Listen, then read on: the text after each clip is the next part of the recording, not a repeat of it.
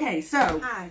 we've decided that we're going to um, do some different um, finishing effects on each of the colours. Um, and we're going to start off with some decoupage. Hi. This is Angela, And this is Rachel. and together we are Two Tall Ladies. So before we actually start, I would just want to talk you through because there are a million different ways of doing decoupage and there's a huge array of um, decoupage mediums, glues um, to actually um, stick your subject matter down with. So for today, we are going to use the napkin. I'm on the phone. Is that me? Shall we just backtrack a bit? So for today, we are going to use a, a napkin. So I'm going to show you one of the techniques um, for using napkins. So if you've got, if you're going to use a small image, then it's one technique. This image is just bordering on to a large image. So I'm going to show you the um, the technique for large imaging decoupage. So what Rachel is doing now is she's chosen an image and she's actually tearing around the edge. So if you were to cut around the edge, you would always be able to see a jagged edge around your image on your item and it would you'd, you'd be able to see it. When the light caught it, you would be able to see that. But if you tear around it, what happens is it frays all the edges and then they blur and disappear. So you uh, you have a nice flat. Uh, yeah, it's all blended in. It's a nice flat finish. So you carry on with that, Rachel. you. And while Rachel's doing that, I want to talk to you about some of the um, the glues um, for decoupage. So um, think about what it is that you want to achieve and what what paint you've used it on. So we're using it on a matte finish. So ideally we want to use a matte gel or a matte medium to um, to glue it down and to put the top coat on so that it, it just disappears completely. Uh, so some people use um, PVA. PVA is one of the subs- substances. It dries really shiny. So you're always going to be able to see a shine just over your image and any, any way you catch outside of your image it will be shiny. So we don't use that. Um, Mod Podge do quite a range um, and you can get matte or shiny or satin. Um, most of these items we buy from Amazon. We never leave the house, we just buy everything on Amazon. Amazon Prime. never have to go anywhere. oh, no, Amazon Prime, you get it the next day, it's great. So we, we've tried Mod Podge, it's not our favourite um, because it's quite runny and it does tend to tear your images. So if you're doing a large image um, decoupage, Mod Podge isn't the, the best substance for me. Um, this medium, this Liquitex, um, is more for, it works better for image transfer. So we're going to save that and use that another day. But you can use it for decoupage as well. And again, I bought a matte one. My absolute favourite go-to product for decoupage is this um, all-round matte decoupage. And you can buy this on Amazon. And it's £20 for a large bottle like this, but I've had this for such good well over a year. It really is. You can buy it in smaller ones. It's about £8 for a smaller um, tub, but a smaller bottle, but it's it's um, best value to buy large. So I've only got a bit left, so I'm going to have to buy some Go more. large. So I'm going to decant it. If I can open it. Going to decant some. So while Angela's doing that, I'll show you the image. I've tore all around the edge.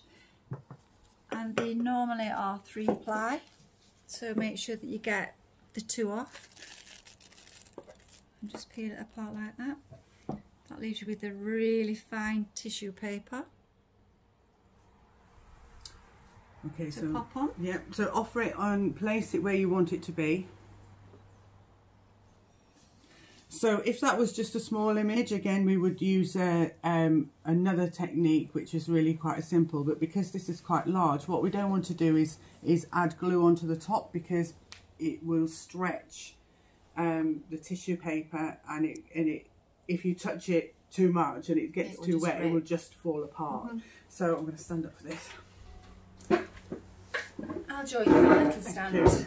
So what we're going to do is, um, I've got a really nice soft flat brush here. These brushes come in packs of three, three different sizes from the works, and they're two pounds for three brushes, and they're really, really nice Mhm. brushes. They're perfect for decoupaging. So for this technique, what I'm going to do is remove the image, and I'm actually going to glue where we want the image to be. So I'm not going to put too much on, but I'm going to put a nice coating of glue. It's going to be slightly larger than the actual image and hopefully it won't wet that paint because that's the one that's still wet. Um, but what, what I'm going to do is we'll be able to wipe off any excess around. So then I'm going to get the, the peacock and I'm going to really gently place him in the middle first so he's touched down. You get one chance at this. And then I'm going to get a piece of cling film. Cling film. Here's one we didn't make earlier. Once you start decoupaging, you can never find cling film in your kitchen drawer for kitchen duties. And we're going to lay that over the top.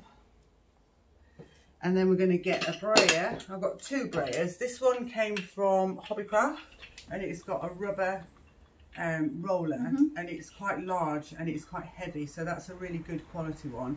But I also bought this. I think they've got this one from the works as well. I think it was about two or three pounds. This one was about eight pounds fifty. Yeah, But but that is the better it one. is the better one.